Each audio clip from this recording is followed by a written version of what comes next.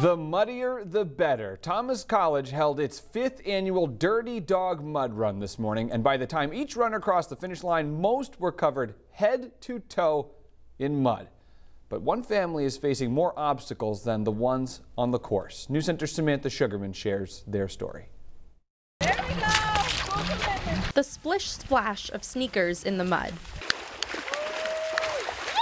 On all fours like a dog to get through this obstacle course. It must be the Dirty Dog Mud Run. We are about to put the mud in Mud Run.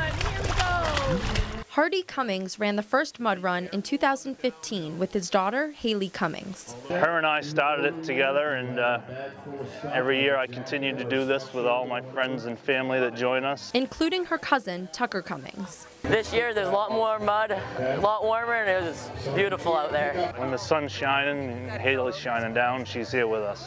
Haley died in the fall of 2015, killed in an ATV crash. She was 18 years old. Three, two, one, go. Now they run in her honor. She always said no excuses, and uh, halfway through the race, I was, I was, I was just repeating it in my head because I felt like I'm like halfway through. I'm like, I don't know if I can carry, go on with this, and I just kept repeating myself, no excuses, no excuses, and I just gave her hell. Her dad admits the past five years without her have been difficult for the family. It's been a, a rough time for everyone in the family. This event helps, though, to keep her alive. Run this race in her honor, and which in hopes I can do this the rest of my life in honor of Haley. In Waterville, Samantha Sugarman, News Center, Maine.